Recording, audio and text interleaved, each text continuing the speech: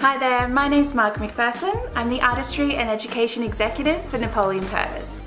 Today in collaboration with Active Skin and their makeover campaign, I'm going to show you how to recreate this five minute makeup look. Let's go. Firstly, we need to hydrate and plump the skin. I'm using two to three drops of the Napoleon Complex Skin Renewal Serum to soothe, protect and prep my skin.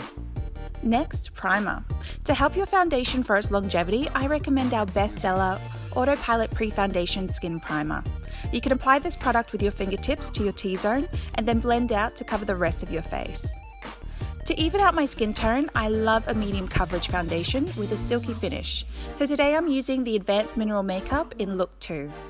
Using a damp Napoleon Perdis Let's Pounce Beauty Sponge, I'll apply the majority to my T-zone and then blend out. My go-to concealer is the Pro Palette Concealer Plus.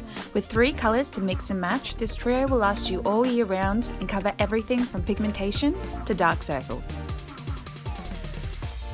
To set my liquid foundation and concealer, I'll use a touch of the Camera Finish Powder Foundation in shade N2 Natural and the powder brush S25.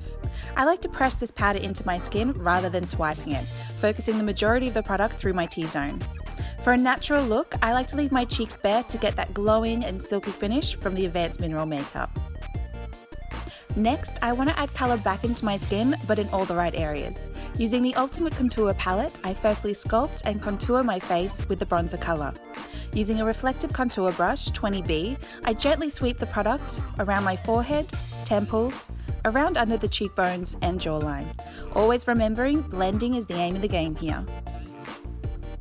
Add a pop of blush on the apples of the cheeks, sweeping up and out to elongate the face. Switching now to a blending brush, I like to add a little bit of our contour colour to the sockets of my eyes and down the nose.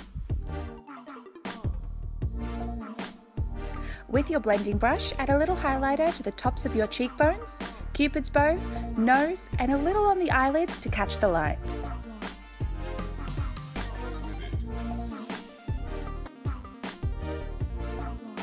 Now my favourite part, eyebrows. I like to keep them as natural as possible, so just filling in the gaps.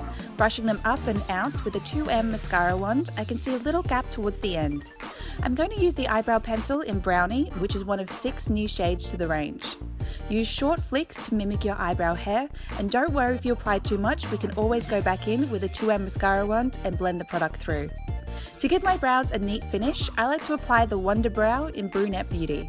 Just a quick brush through gives them that polished finish. Lashes. It's a must for me to curl my lashes before mascara application. I love the Napoleon Curl Girl Lash Curler. It's a little wider to grab every lash in one go. Hold your curler over the base of your lash and pump three times. I like to go for a lot of volume, so today I'm using the Fat Volume Mascara. Another tip, always roll the mascara wand in its container and never pump. Pumping allows air inside the container and can dry out your mascara. Apply to the root of your lashes, zigzagging upwards. I like to do two to three coats to achieve maximum volume. I am obsessed with the new My Number One limited edition nude lip set. I'm using two shades, Criminal and Insanity. Starting with the darker shade, Criminal, around the edges to outline the lips, then apply your lighter shade, Insanity, in the middle to create a soft ombre effect.